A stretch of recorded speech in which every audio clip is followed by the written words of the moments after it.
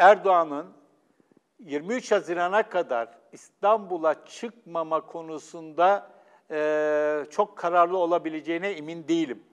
E, şunu biliyorum, Türkiye'de şu anda aktif siyasette olan siyasetçilerin içerisinde kamuoyu yoklamalarını en çok önemseyen, en profesyonel bir şekilde bunları yaptıran, kamuoyuna böyle yansıtmıyor olabilir bu konuda elde ettiği bilgileri ama adımlarını genellikle kamuoyu yoklamalarıyla, seçmenin nabzıyla atan, strateji ve taktik değiştiren Erdoğan, eğer kamuoyu yoklamaları son güne kadar olumlu geçmezse bir şekilde bizzat ipleri tekrar eline almak isteyebilir.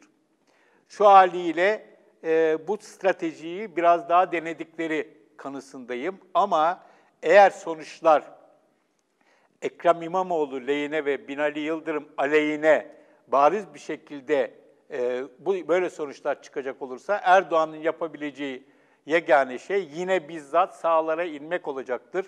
Ama bunun pek de bir işe yaramadığını 31 Mart'ta gördük.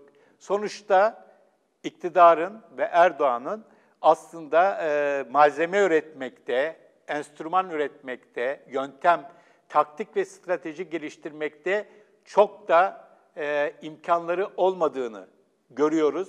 31 Mart'ta eğer bu seçimi sonucunu kabul etmiş olsalardı belki biraz daha az hasarla atlatabilecekleri bir olayı şimdi 23 Haziran'a taşıyarak hasar ihtimalini daha çok yükseltmiş durumdalar ve şu ana kadar gördüğümüz kadarıyla da Binali Yıldırım'ın dilini değiştirmek, e, üslubunu değiştirmek dışında yapabildikleri çok fazla bir şey olmadı siyasi iktidarın.